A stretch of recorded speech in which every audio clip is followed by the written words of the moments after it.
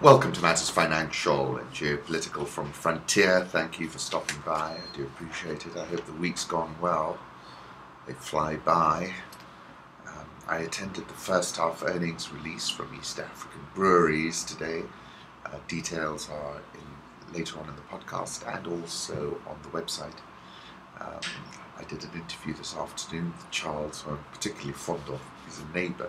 He's always complaining about my H whenever I see an unruly hedge, my hedge unruly, should please get that hedge cut. Um, but great speaking with him about business, very confident, um, and uh, we'll publish that interview early next week. I'll put up a photograph of a selfie I took with him after our interview, and I'll also put up a picture of uh, where the earnings release actually happened in the Serena Hotel, the entrance. Um, I think the dollar sell off is a head fake. Home thoughts went back to Robert Frank, and probably one of my favourite photographs, uh, which was described like this by Jack Kerouac in his introduction to the Americans. Kerouac describes this photograph you're now looking at as a long shot of night road, arrowing, forlorn, into immensities and flat of impossible to believe America in New Mexico under the prisoner's moon. Kerouac, one of his seminal books, well, the seminal book, On the Road, the only people for me are the mad ones, the ones who are mad to live, mad to talk, mad to be saved, desirous of everything at the same time. The ones who never yawn or say a commonplace thing, but burn, burn, burn like fabulous yellow Roman candles exploding like spiders across the stars. There was nowhere, nowhere to go but everywhere, so just keep on rolling under the stars. The air was soft, the stars so fine, the promise of every cobbled alley so great that I thought I was in a dream. What is that feeling when you're driving away from people and they recede on the plain till you see their specks dispersing? It's the too huge world vaulting us, and it's goodbye, but we lean forward to the next crazy venture beneath the skies. I wrote a piece on the 7th of January called On the Road, that was 2013 my Christmas holiday ritual is to jump into a car and take the family down to the coast. The Nairobi Mombasa Road arrows into immensities and is impossible to believe. It retains a mystical hold on my imagination, it connects me to my childhood and beyond. Um, political reflections. Putin, we have managed to agree on the main issues, adding that a ceasefire would come into effect on February the 15th interesting piece in global research. Kiev's bloody war is backfiring. Poroshenko's military mobilization is due not only to numerous setbacks in the east, Ukrainian troops are being pushed back on all fronts by highly motivated rebels defending their own towns and villages, but also because thousands are deserting, throwing down their arms and fleeing to Russia. In response, the Ukrainian parliament has passed a law authorizing local commanders to shoot deserters on the spot. I concluded by saying, you know, the geopolitical grandmaster Vladimir Putin has shown the 21st century oil war specialist Barack Obama that he can play hardball at the ground level. Put up a photograph of Obama and Putin at APEC and then this is an important point, I think, made by Bloomberg Putin's high tolerance for pain and Europe's reluctance to inflict it. Former Georgian President Mikhail Saakashvili, whose country was invaded by Russia in 2008, and interestingly, Lavrov used him as an example and said, Look at him, what happened? Uh, and he's saying no better option is going to happen for Poroshenko, revealed to an audience of Ukrainians what Vladimir Putin thought of their nation. I had 36 meetings with Putin, Saakashvili said in a visit to the Ukrainian city of Lviv in August, five months after the annexation of Crimea. And almost each one he repeated that Ukraine is not a real state but Russian territory. He will go as far as he is allowed. Dmitry Trenin says Putin has much more at stake. Putin's will and Russia's willingness to suffer for a cause is his asset. Fortune magazine tweeted Eurozone Greece still deadlocked despite killer fascist state, fashion statements. One was Christine Lagarde, the other was the Greek finance minister. It's a pretty arresting photograph. I put up a photograph of Saudi Arabia's deputy crown prince, Mohammed bin Nayef, arriving with his uncle King Salman to greet President Obama. Digital dark age could leave historians with no records 21st century. This report of the Independent. Euro 114.20 area dollar index uh, has fallen this morning to 94. Japanese yen strengthened 118.74. Swissy 0.9280. Pound topped 154 in a very big move yesterday. Aussie 0.7776, India rupee 60.02095, South Korean won 1098.05, Rial 282.06, Egyptian pound 762, South African rand 1173.70. Dollar index, I think this is a buying opportunity. Soft January retail sales out of the US, but I think on balance, uh, I stick with my King dollar story.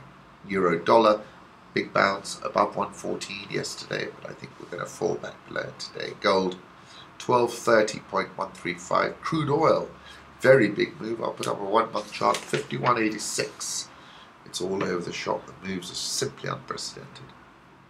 Coming to sub Saharan Africa, that you can simply declare a mineral strategic at a minister's discretion is a worrying proposition to the mining company essentially is look, government is sovereign and can enact what it likes, but the point is investors vote with their feet. They decide, are we going to invest here or in Mozambique or Namibia? That you can simply declare a mineral strategic at a minister's discretion is a worrying proposition to the mining companies. South Africa's parliament descended into chaos as Zuma got a hostile reception. Members of Julius Malema's EFF, Economic Freedom Fighters, clash with security officials in this photograph after being ordered out of the chamber during President Zuma's State of the Nation address in Parliament in Cape Town, February 12, 2015. Zuma had barely begun speaking when EFF members began interrupting, demanding to ask the President about when he would repay part of a $23 million state funded security upgrade of his rural home. Clearly angry Speaker Baleka Mbete warned several EFF members to sit down before ordering they be removed by security officers, prompting a brief brawl in which several people were injured. We have seen that we are part of a police state Malema, whose t-shirt was torn and a fracas, told reporters, after being bundled out of Parliament in a scrum. South African All Share, meanwhile, has opened 2015 with a blistering start, up 6.09% year to date, and at a record. Dollar rand, not the same, 1173.17 when I checked last. Egyptian pound, 762.72. Uh, 72. Egyptian stock market, EGX 30, up 9.23% year to date, third best in the world, best in Africa. Nigeria all share, meanwhile, down 19.39% and the worst performing index in the world. Nigeria's central bank chief said on Thursday there was no need to panic about a slide in the currency. Whenever they say that, there's every reason to panic. Central bank chief said on Thursday there was no need to panic after figures showed the bank had been burning through more than $110 million a day in a vain attempt to defend it. Foreign reserves fell to 33.4 billion as of February the 10th, a drop of a billion dollars over the previous 12 days. Um, I said this on the 19th of November. I said the currency heads to 200. It's going over that now. The central bank does not have the firepower. Um, and that remains the point and the fact. Um, and I said on January the 15th that Emefiele's um, okay, the finger in the dike strategy is about to be overwhelmed by a tsunami. Well, it is now As you can see, Nigeria's Naira was down nine days in a row, the longest losing streak since the Russian crisis in August 1998. I saw this tweet Dear Noe Wheeler, in one month the Naira has lost 35 Naira to the pound. Any explanations? Well, we know what the explanations are, and we could see this coming. Ghana Stock Exchange is minus 4.93% year to date. East African breweries reported half year results. Profit after tax up 11.079%. Revenue up 9.1342%. That was good. Cost of sales up 9.487%. Selling and distribution costs up 4.6275%, so keeping it below the turnover number. Uh, admin expenses down 2.4406%. Net finance costs up 13.72%. Uh, profit after tax up 11.079%. Dividend unchanged, a shilling 50. Borrowings up 5.5 billion shillings. I went to the earnings release before I did the interview. Kenya remains the big revenue piece for uh, EABL, 61% or thereabouts but Tanzania was strong. Premium spirits, look at this, 32% up. Reserve spirits up 67%. That's the really expensive whiskey. Senator, and it was interesting to read the body language. I think they'd invested a lot in it. Disappointed with the way the government reacted. Upset about the entire ecosystem being left uh, to wither on the vine. But saying that it really is meaningless now to the P&L saying Senator was created as a replacement for illicits like Chang'aa and Busaa. We had 12,000 outlets, they now have 8,200. Premium beer was strong in Kenya because of Guinness, that was a real standout performer. Uganda, Waragi volumes up 32%, Tanzania first half up 17% strong. EABLI, which is predominantly at the moment South Sudan, up 110%. 118%, uh, very strong performance in South Sudan, constrained by unavailability of dollars, however. Spirits plus 35%, first half, that's big. Lager flat on the year. Uh, I thought the results beat the street estimates. Revenue expansion of 9.1342% was commendable. Will get juiced in 2015 by the oil price stimulus, which I asked Charles about in the interview. Interesting point he made. They bounced Tanzania. Kenya was soft. South Sudan stood out. Spirits are gaining traction. So uh, I thought these were better than the market would have expected, and therefore these will be well received. Falling crude price hits exploration prospects for East Africa.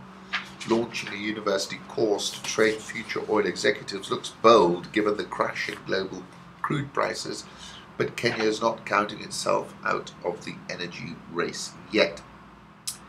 Bust cycles are the time to prepare the industry backbone, says Sumaya Hassan Athmani, Chief Executive of the National Oil Corporation, which on Tuesday launched a course to run at Nairobi Strathmore University to expand the fairly small pool of oil and gas talent in Kenya. Hopeful investors have built East Africa the world's most promising frontier for oil and gas exploration for the past 10 years.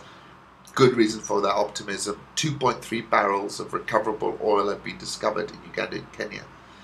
Despite the first oil discovery in East Africa nine years ago, none of it has been commercially developed for export. No infrastructure exists to transport the waxy crude from remote drill sites, and regional oil executives are a rare species. Now, before the region has sold a single drop of oil, the collapse in global prices threatens the industry before it has even got going. This is a point I made several times, quite a long time ago. Exporters planning to delay production until prices rise. Kenya's Institute of Economic Affairs warns the country could lose $720 million in annual revenues for every year of delayed output. Tullow Oil, who are the most bullish of operators in this region, uh, said on Wednesday it would reduce its rig count in Kenya from four to one this year uh, we will gradually wind them three rigs down throughout the year. We've still allocated significant capital to Kenya and plan to continue exploration at a more modest pace, as you'd expect with the oil price. Investor sentiment is down. Smaller guys are starting to look, ask the government for an extension to their work programs, but they can't afford to meet them. Um, and this is, as I said, a big blow to regional governments counting on oil windfalls to boost budgets and fund multi-billion dollar infrastructure projects including road, rails and ports. With the oil price drop, you're not going to see the pipeline built for a while. The whole infrastructure thing might have to be rethought a little bit. That's what I was saying. I said on the 31st of December, Tullow Oil and Africa Oil are hoping for a Hail Mary pass. They're not anymore. They're taking decisions now. Um, dwindling oil fortunes, not good for Kenya. I said that on the 17th of November. My concern at this moment is this we are necessarily placing a big bet on oil and gas, cementing our position as the pivot, the energy conduit, and route of the sea. Now go take a look at the price of oil. I said then, that was on the 17th of November, there's an outside chance we could break down to $50 a barrel, which we then went and did. The consequential effects on our economy of the can being kicked down the road are not good, not good at all, I'm afraid. What makes Nairobi Africa's most intelligent city has caught everyone's attention. This was a piece on CNN. For a second year in a row, Kenya's busy capital city Nairobi has been named the most intelligent city in Africa. Um, according to the Intelligent Community Forum, intelligent communities are those that have taken conscious steps to create an economy that can prosper in the broadband economy. Nairobi was the only African city to appear on their shortlist of 21 hubs throughout the world for 2015. And I wrote about this when I was actually writing in 2012 about a visit to the Mara. We were not going as far as that, only two days' journey in the ox cart to a bit of El Dorado my father had been fortunate enough to buy in the bar of the Norfolk Hotel from a man wearing an old Etonian tie. So says Aldous Huxley's The Flame Trees of Thika, which is a beautiful and lyrical book.